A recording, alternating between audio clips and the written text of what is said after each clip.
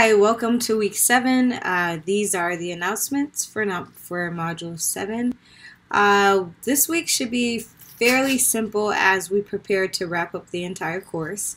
Uh, thank you so much for staying and finishing. I know how difficult it has been, especially with some of the um, uncertainties that the district has created. Uh, I hope that you're um, you were able to close things out well for the midterm or for the uh, quarter one, and that um, you know your final exams went well, and anything else that you had to do to close out the quarter. I am actually um, still closing out my quarter as grades are due on the 14th. Um, hopefully, I'll get everything put in tomorrow, which hence the late post for today. So, um, really quickly, we have three things that be due. One, you already had um, the knowledge of knowing that it was due, and then a reading quiz and the class discussion. These are the final uh, things. The only thing due next week is the actual final project, and I think um, just for the sake of consistency, this was supposed to be cut out. So you won't have you'll have a final class discussion next week. Um, the only thing you have to focus on this week is the reading quiz in that. And the reading quiz will focus on one of the particular articles because we have three of them.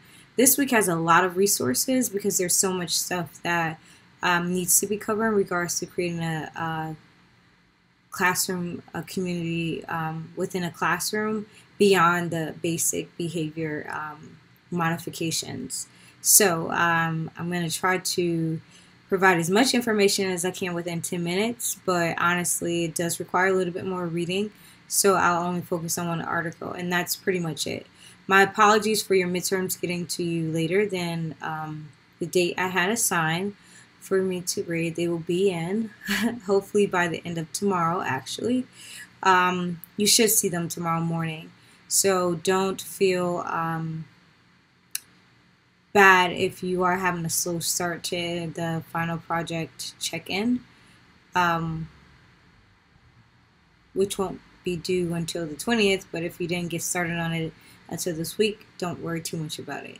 Uh, as we enter in the week seven, just make sure that you're focused on any of the assessments that haven't been graded yet. I usually have a day or so after the course is scheduled to end to wrap things up, um, but I only use that day or so to make sure I have all the grading done and um, to make sure all the projects were returned or to give people extra time. So, my advice to you would be um, if you are experiencing any challenges with getting any work done, and most of you have gotten everything finished, but with the final coming up, um, just please let me know in advance. Okay, have a, a great uh, rest of your weekend, the what's left of it and I hope you have a fantastic start to your week.